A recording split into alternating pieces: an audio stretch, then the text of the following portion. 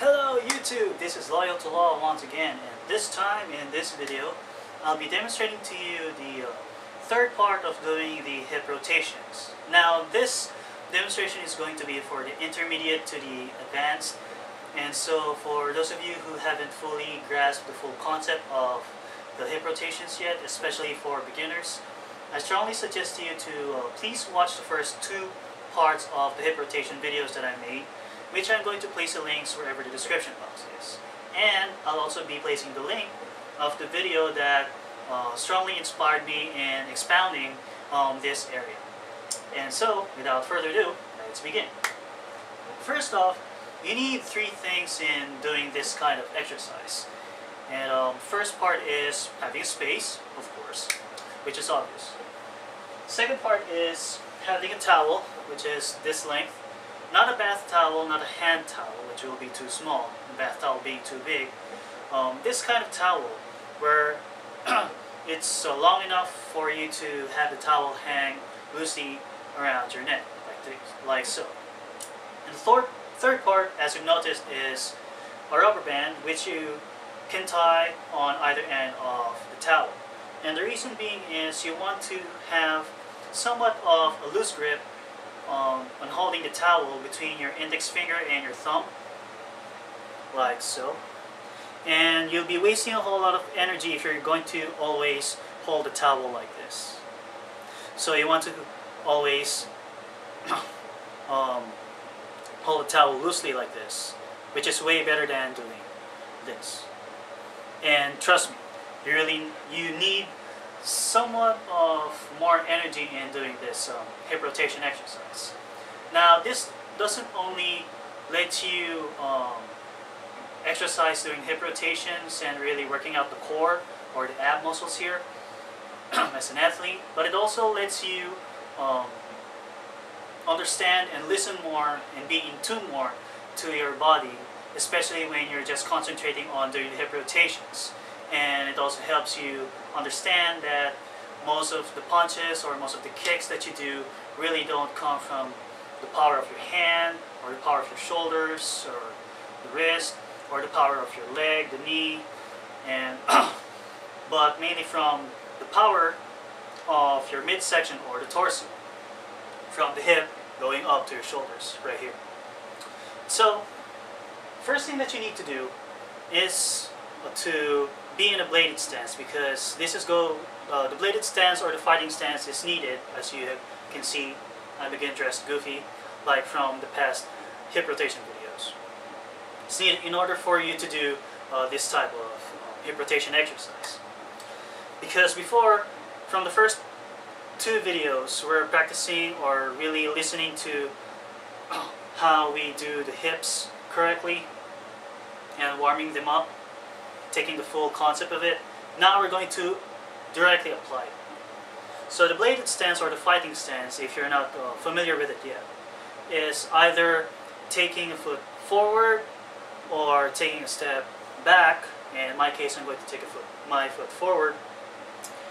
And then turn my body 45 degrees, so that'll be my entire body at least 45 degrees, but no more than 45 degrees. And my eyes are still facing you and my hands will be Uh, close to my face. I'm going to lift my hands up, trying to cover my face. As I lower myself here, this is what it's going to. It, this is what the fighting stance should be. Your hands might be in this motion or might be really close to your face, might be like a Muay Thai style, but the concept is to have your hands close to your face. So as I do it side view here, I may take a step forward or a step back. In this case, I'm going to take a step back, turn my body 45 degrees, my eyes are still in front of me, then I raise my hands up to protect my face. Alright, so. Now from this fighting stance, your back hand, which is your power hand supposed to be, is where you place your towel. So your back hand holds a towel in this type of um, holding. You just hold it loosely, you really don't have to grip it because you're wasting a whole lot of energy in doing so. You're just going to let it almost hang between the space on your index finger and your thumb. And then from here, you're going to do this motion.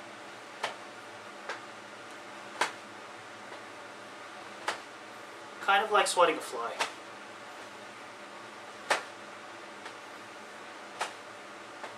I do it here in side view,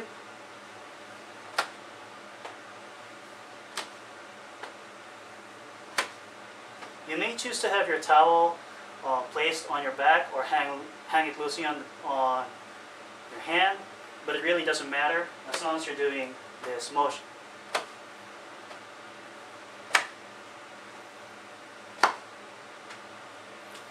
Now, in concept, you're just going, you're, as I demonstrated a while ago, you're just using your arm, which is your strong hand, in swinging the towel so it'll reach your back. And the target that you want to hit in the part of your back is this part where um, between, well, within the waistline, actually, from of your pants. So it's in this part. If at times it hits your back, then the next part would be a bit difficult because it'll be really, really painful if you're going to, if you're just hitting the your back part. So it needs to hit on the waistline of your pants. Yeah. See, the reason why it's a bit intermediate and advanced. And um, what does that have to do with doing hip rotations? Now, in concept, you're just doing this, which is swinging your arms. You may want to move your hip to get a more rotation to it, as to as opposed to using your arm, which is totally different. With the hip, arm. But in reality, this is what you need to practice for.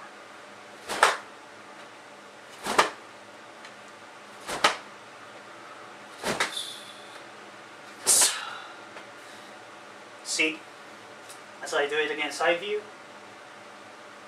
this is the concept. Trying to hit the middle part of the back of your waistline. And this is the real deal.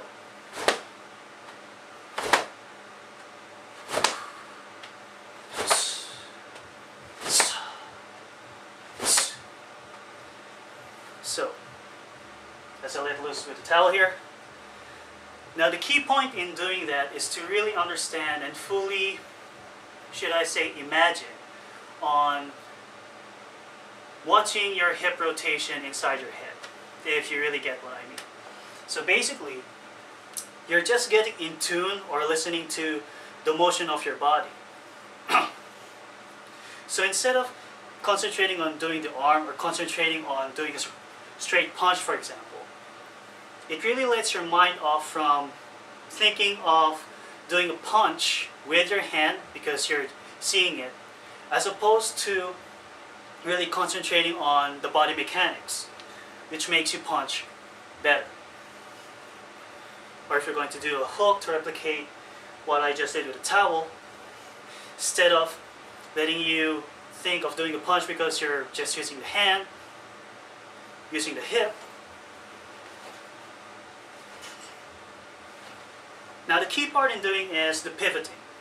And a whole lot of boxers would tell you that most of the powers from the punches comes from the legs. And it is totally, totally true. The reason why is the power that comes from the legs comes from the pivoting part. So we're going to um, use the pivoting part of our back leg. In my case, it's the, uh, the right back leg.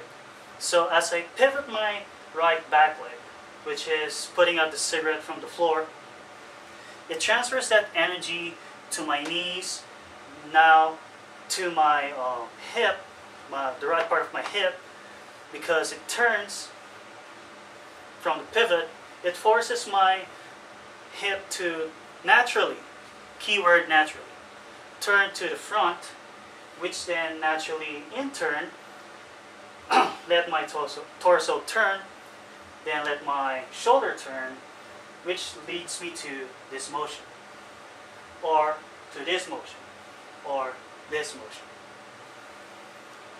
There's a huge difference with just using the arms because you're just using your upper body, as I said from the first uh, hip rotation video, as opposed to using your hip, especially with the pivoting part.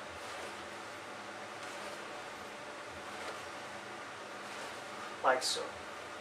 So again, as I do it in slow motion with the pivoting, it'll be pivoting like stepping on the cigarette from the floor, letting your hip turn, as you can see from the stripes of my pants, like so. So there's a huge difference between just using your arm and doing this. So there's more power, but the same amount of energy that you're using when you're just using the arm. So from that concept, you can also practice not only from this one, but you can also practice in doing the reverse motion, which is doing this. Now this one is like having a baseball bat and trying to wait for the pitch and you're going to hit it with all of your might. But not really using hands, but you're using your hip as well as the pivoting of your back leg. So it'll be like that. So the concept motion, um, if the concept motion of the first would be this way,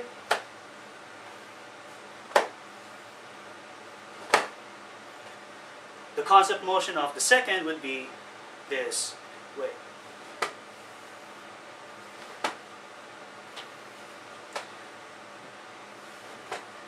Now, the second part is a bit difficult and a bit dangerous, so I really strongly suggest to really be careful in doing that and to really, really practice that second part really slow.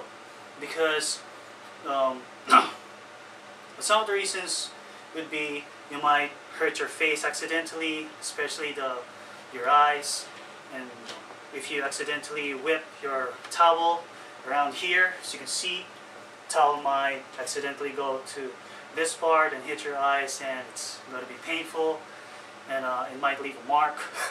Second is you can't hit the back part of, of your waistline here of your pants. so most likely you're going to hit your back and it stinks if, if that happens and so you want to really practice that really really slowly first and as you can see if on the first part you still maintain a guard on your left side if you're uh, right-handed or on your right side if you're left-handed.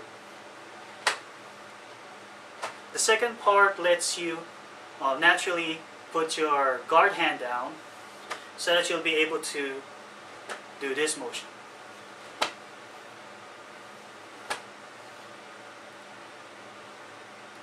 So, totally different from this to this. And as usual, that's the concept, but the real thing that you want to do is this one. See? It stinks.